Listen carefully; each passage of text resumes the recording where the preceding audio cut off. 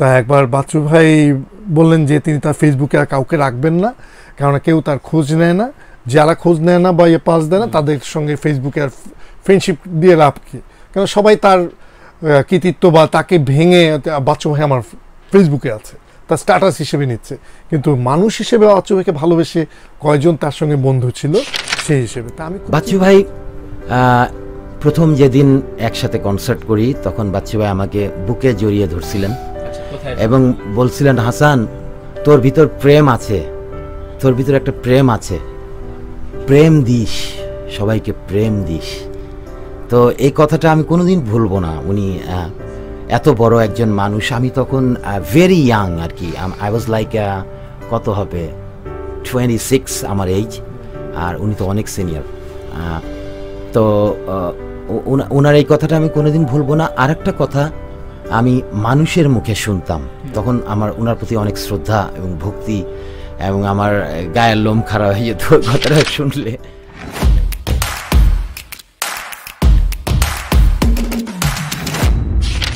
আমাদের তো তখন কোনো যন্ত্র নাই, কারণ বস হচ্ছে চলে এসছে ব্যান্ড ছেড়ে। বসের নিজের একটা গিটার ছিল, সেটা হচ্ছে ফেন্ডার স্ট্র্যাট সেটা হচ্ছে সাদা রঙের। ওই একটাই আমাদের সম্বল এবং একটা বসের একটা ছোট্ট মনিটর স্পিকার এই দিয়েই আমাদের শুরু। আর কোনো কিছু আমাদের ছিল না। এখন আমি বসের বাচ্চার একটা খেলনা কিবোর্ড ছিল ক্যাসিও খুবই ছোট ছোট কি আচ্ছা। তো সেইগুলা দিয়ে এখন প্র্যাকটিস করতে হবে। কারণ কিবোর্ড কই পাবো? বাচ্চু ভাই প্রথম যেদিন একসাথে কনসার্ট করি তখন বাচ্চু ভাই আমাকে বুকে জড়িয়ে ধরছিলেন। আচ্ছা এবং বলছিলেন হাসান তোর ভিতর প্রেম আছে। তোর ভিতর একটা প্রেম আছে। প্রেম দিস, সবাইকে প্রেম দিস। তো এই কথাটা আমি কোনোদিন ভুলবো না। উনি এত বড় একজন মানুষ। আমি তখন ভেরি ইয়াং আর কি আই ওয়াজ লাইক কত হবে? টোয়েন্টি সিক্স আমার এইজ আর উনি তো অনেক সিনিয়র তো ওনার এই কথাটা আমি কোনোদিন ভুলবো না। আর একটা কথা, আমি মানুষের মুখে শুনতাম। তখন আমার ওনার প্রতি অনেক শ্রদ্ধা এবং ভক্তি। এবং আমার গায়ের লোম খারাপ হয়ে যেত কথাটা শুনলে। আমাদের তো টাকাও নেই আচ্ছা আচ্ছা আচ্ছা। এবং ওইটা দিয়ে আমরা পিঙ্ক ফ্লয়েডের শাইন অন এর ক্রেজিট ডায়মন্ড তুলেছি ওটা দিয়ে ওয়াল তুলেছি ওটা দিয়ে রক বটম তুলেছি ওটা দিয়েই বেলিজুয়েলের অনেক গান তুলেছি হ্যাঁ। ওটা দিয়েই তুলে তুলে তারপরে যে হয়তো কারও স্পেশালি ফুয়াদ নাসের বাবু ভাইদের কথা বলতে হয় কেওজের কথা বলতে হয় শুভ্রর কথা। ওরা আমাদেরকে অনেক হেল্প করেছে হচ্ছে প্র্যাকটিস করতে দিয়েছে একদিন। মানে আমরা আজম খান জেমস ভাই বাচু ভাই রেনেসা মাইলস ওয়ারফেজ মানে একটা দুর্ধর্ষ ঠাসা একদম বিশ বছর একটা উন্মাদনার মধ্যে দিয়ে আমরা বড় হয়েছে। আমাদের যৌবন তারুণ্যকে বড় করে নিয়ে আসার জন্য যে ধরনের মিউজিকটা সত্যিকারের দরকার ছিল আমরা সেটা পেয়েছি। আসলে আমাদের এখন এই একটা দেশের সোশিও কালচারে যখন অস্থিরতা চলে আসবে সেই অস্থিরতাটা ছোঁয়া পড়বে সব জায়গায়। জি। সংস্কৃতিও সেটার থেকে বাইরে না।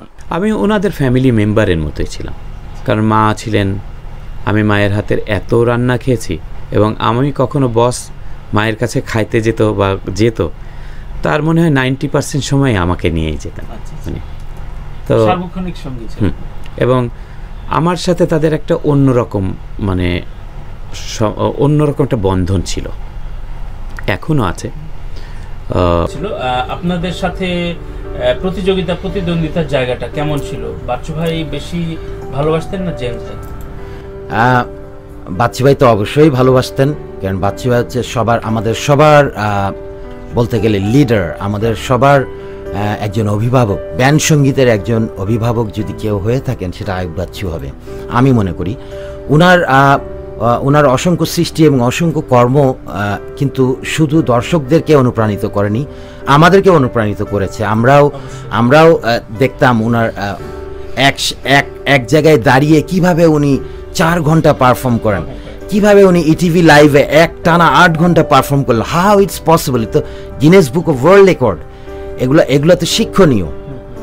ওনার প্লেয়িং এর ব্যাপারগুলা, এগুলা অত্যন্ত শিক্ষণীয়। যে উনি কীভাবে ওয়ান ম্যান শো উনি কোনো কোনো ব্যাকগ্রাউন্ড মিউজিক ছাড়া একটা ডিলের উপর, একটা ডিলে ইফেক্টের উপর উনি কীভাবে এত সুন্দর কম্পোজ কম্পোজিশন প্লে করতে পারেন যে কোনো এনি টাইম এনি মোমেন্ট আসলে ওই সময় একাত্তরের পরে একটা স্বাধীন দেশ, সুন্দর একটা দেশ হ্যাঁ নতুন কর করে করে বেড়ে উঠছে, জনসংখ্যা সীমিত একদম, সুন্দর করে মিউজিক সবাই একদম মন খুলে কাজ করছে, গান গাইছে, স্বপ্ন নিয়ে।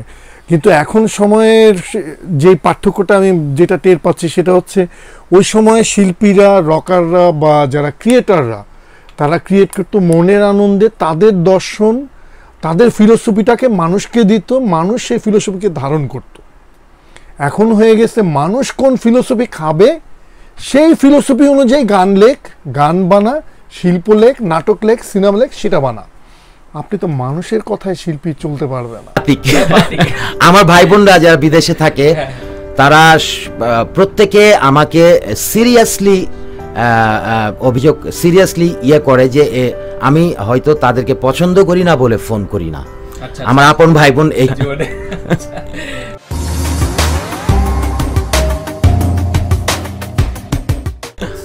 সেই ক্ষেত্রে এমনি আপনার কোন কাজে বাচ্চা ভাই অ্যাপ্রিসিয়েট করেছিল এখন এই অবস্থায় মনে পড়ছে।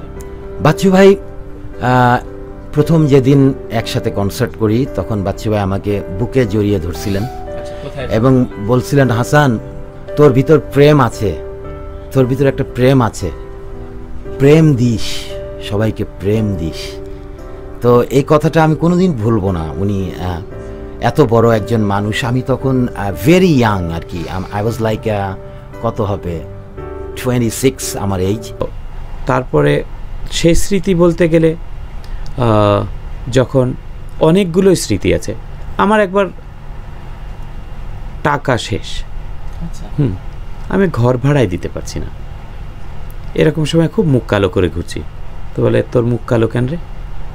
তা আমি বলি যে না না ঠিক আছে কোনো এমনি বাস। তো বলছে না আমি বুঝতে পারতেছি তোর তো কী যেন হয়েছে। তা আমি বললাম যে না বস একটু আমি আসলে কেঁদেই ফেললাম। কারণ আমার তো টাকা শেষ হয়ে গেছে। কারণ আমরা তো অনেক টাকা পেতাম না তখন ব্যান্ডও পেতাম না পুরো। বসই টানাটানি চলে। তখন বস দেখি পাঁচ হাজার টাকা একটা বান্ডিল মানে তখন একশো টাকার নোট। আচ্ছা। একটা এনে বলল যে এটা নে। তো এই কথা ভুলবো কি করে? আর উনি তো অনেক সিনিয়র তো ওনার এই কথাটা আমি কোনোদিন ভুলবো না। আর একটা কথা, আমি মানুষের মুখে শুনতাম। তখন আমার, ওনার প্রতি অনেক শ্রদ্ধা এবং ভক্তি এবং আমার গায়ের লোম খারাপ হয়ে যেত কথাটা শুনলে, সেটা উনি বলতেন যে, হাসানের একটি গান যারে যা যেটা আমার হৃদয়কে আলোড়িত করে। I I like that song like anything. এই যে উনি যে এত বড় একজন মানুষে যে এই কথাটা বললেন এতে কিন্তু আমি ওনার প্রতি আমার শুধু ভক্তি শ্রদ্ধা বাড়লো না আমার নিজেরও কাজের প্রতি একটা ভালোবাসা বেড়ে গেল। টিঙ্কুর হয়েছে টিঙ্কুর হয়েছে টিঙ্কু বেশ আহ, জানাজাও গিয়েছিল প্লাস ওনার মিলাদ যেটা কুলখানি হয়েছিল ওখানেও টিঙ্কু গিয়েছিল আর আমরা তো একসাথে ওনার যেদিন গত হলেন উনি ওই দিন দেখতে গিয়েছিলাম স্কোয়ারে একসাথে। সর্বশেষ কবে কথা হয়েছিল বাচ্চা ভাইয়ের সাথে? বাচ্চু ভাইয়ের সাথে কথা দেখা বা কথা হওয়া। ছ মাস হবে। কোথায় এটা? এটা কোনো একটা প্রোগ্রামে ঢাকার বাইরে প্রবলি আচ্ছা আচ্ছা আচ্ছা। অপসংস্কৃতি ছিল ছিল না ছিল না। বরং সবাই। ব্যান্ডকেই হয়তো হ্যাঁ, অপসংস্কৃতি হিসেবে হ্যাঁ, ভাব হ্যাঁ, ভেবেছিল হ্যাঁ। কিন্তু এটাই আরও বড় শক্তিশালী সংস্কৃতি হিসেবে আমাদের জীবনের রুটের মধ্যে যৌবনে তারুণের মধ্যে মিশে গেছে। মিশে গেছে এবং আজকে বাচ্চু ভাই নেই কিন্তু বাচ্চু ভাই আছে সারা বিশ্ব জুড়ে বিকজ অফ হাজার বছর থাকবেন বাচ্চু ভাই আমাদের। বাচ্চু ভাই আমাদের শিরোনামহীনের জন্য একটা বিশাল আশীর্বাদ। তা আমরা যখন ছোট ছিলাম তখন একদম পিচ্ছি নতুন গান করছি বা ইয়ে করছি তখন বইটে কনসার্ট হলে বাচ্চু ভাই আমাদেরকে খুব আদর করতেন এবং আমাদেরকে স্পেস দিতেন এবং বিভিন্ন কনসার্টেও আমাদেরকে তিনি স্পেস দিয়েছেন গান করার। সাহস পাওয়া কারণ একটা মঞ্চে গান গাওয়ার একটা উপস্থিত থেকে এদেরকে একটা মানুষের সঙ্গে পরীক্ষা দেওয়া এটা একটা বিশাল সুযোগ। তা বাচ্চু ভাই সে হিসেবে খুবই আদর করতেন। আর আমিও একটু মানুষগুলাকে খুব ডিস্টার্ব হয়ে যাবে সেই ভয়ে দূরে দূরে থাকতাম। কিন্তু যখন দরকার যা প্রয়োজন দরকার ছিল আমি পেয়েছি। বাচ্চু ভাইয়ের সঙ্গে আমার খুবই সুন্দর কিছু স্মৃতি আছে। খুব অল্প অনেকের হয়তো অনেক বেশি আছে আমার খুবই হাতে গোনা কম স্মৃতি। এভি কিচেন কিচেন হলো আহ, বাংলাদেশের ব্যান্ড মিউজিকের একজন ধারক কর্ণধার আয়ুব বাচ্চুর একটা অসাধারণ মিউজিকা ইন্ডাস্ট্রি ফ্যাক্টরি হ্যাঁ factory is it was in factory so এখানে আমার মনে হয় না যে কোনো গুণগ্রাহী বা কোনো কাজের সাথে রিলেটেড এমন কেউ নাই যে ওখানে যায়. তো আমিও একদিন আমার সৌভাগ্য হয়েছিল আমি কয়েকবার গিয়েছি তার মধ্যে একদিন মনে আছে যে বাচ্চি ভাই আমার সাথে তখন আর কাউকে অ্যালাউ করেননি। আমরা দুজন আন্তরিকভাবে গল্প করেছি এবং কাজ কাম নিয়ে গল্প করেছি আলাপ করেছি।